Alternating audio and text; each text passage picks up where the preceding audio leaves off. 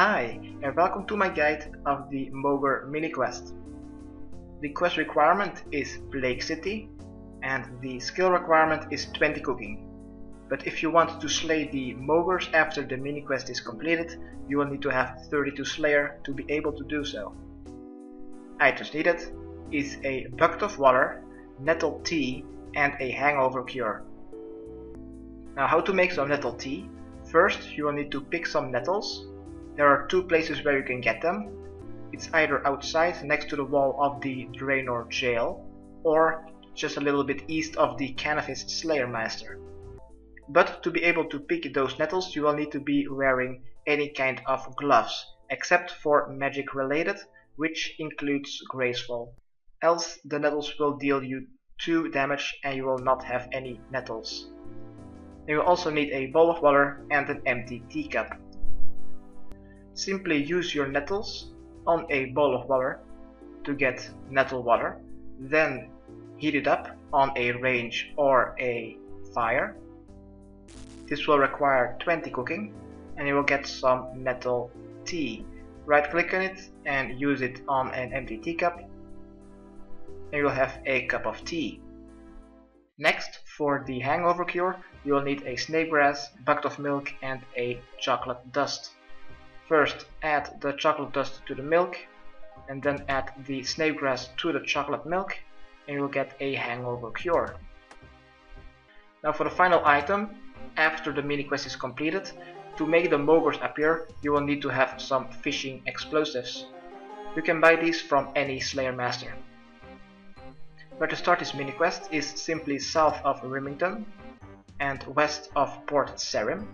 Near the water and some willows you should find Skippy. Talk to him.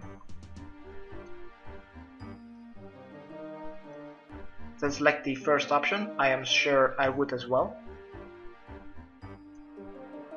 Next, use a bucket of water on Skippy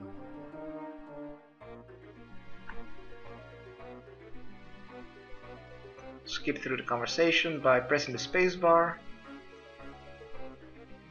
And now Skippy says that he is cold. Right click on your cup of tea and use it on Skippy for him to uh, warm up. Skip through the dialogue a little bit more and he will say that he has a hangover. Next, use your hangover cure on Skippy. And after you've given him this, he will feel better and he will talk to you about mudskippers and how you can uh, make them appear and also where they are. Alright, after the long conversation is over, the mini quest is actually over and let's now go to Mudskipper Point to see how to let the mogres appear. So simply south of the uh, Mudskipper Point altar, just keep going south past Thurgo until you reach Mudskipper Point. And on the eastern side of the Mudskipper Point, you should find ominous fishing spot. Use your fishing explosive on it. You will throw it in.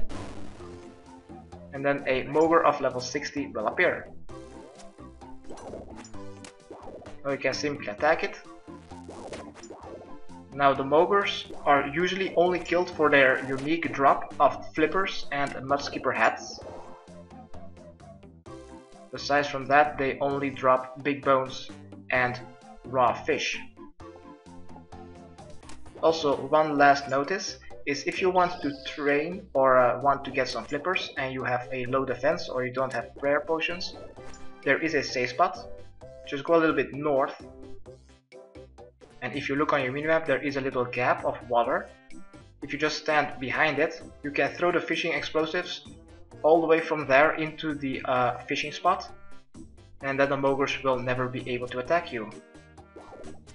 You do will need to have to use ranged or magic. Alright this was my guide how to complete the mogre mini quest. Hopefully it helped. Subscribe rate and comment. Okay thanks bye